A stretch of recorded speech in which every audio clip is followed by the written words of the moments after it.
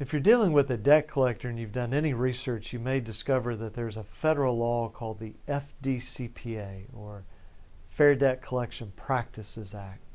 And so the question that often comes up, or should come up, is okay, when does this apply? When does it not apply? Because it does not apply to every debt collector, and it does not apply to every debt that's being collected. So here are the basic requirements.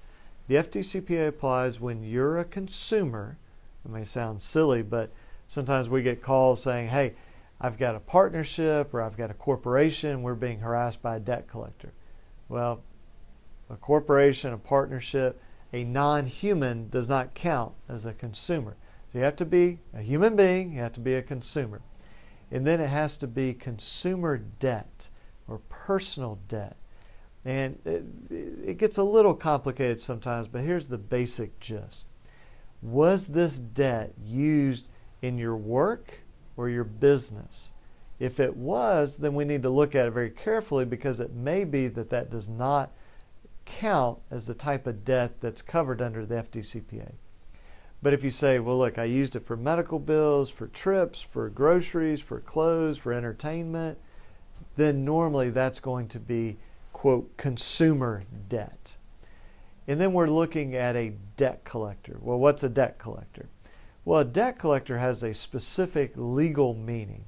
Now, we use that term really to describe collection law firms, collection agencies, debt buyers, people who buy up debt. Also applies to mortgage companies in the right circumstance. So, what tells us if it's a debt collector under the FDCPA is when that debt collector got the loan. So let me illustrate like this.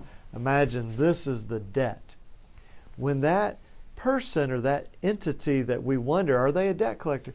We look at the first time they got their hands on that debt. Was the debt in default? So, what does that mean, default? Well, normally the contract will tell us if you file bankruptcy, it's in default. If you don't make the payment on the exact due date, that's default. So the person that wrote the contract that now this debt collector is collecting for or they have bought this debt, they tell us in there what is a default. And normally it's when you don't make the payment on the exact due date.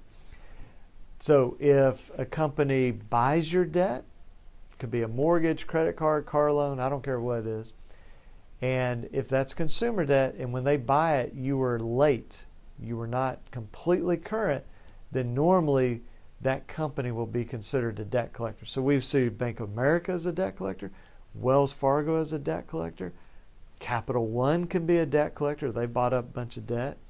Uh, we've sued GE Money Bank before as being a debt collector for various reasons. So there are all these different companies. You might not think of them as a debt collector, but if you just keep in mind that pretty simple rule, and I'm not getting into all the exceptions to the exceptions, but when that company got the debt, was it in default? Were you late?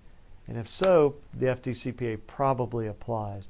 And we'll talk in other videos about the great benefits of the FDCPA, but I wanted in this video to give you just a nice overview of got to be a consumer, a human, got to be consumer or personal debt and we have to be dealing with a debt collector. So my name is John Watts. I'm a consumer protection attorney in Alabama, and I hope this this has been helpful to you. If you have questions about this, give my office a call, 205-879-2447, or you can contact us through our website, alabamaconsumer.com. Thank you.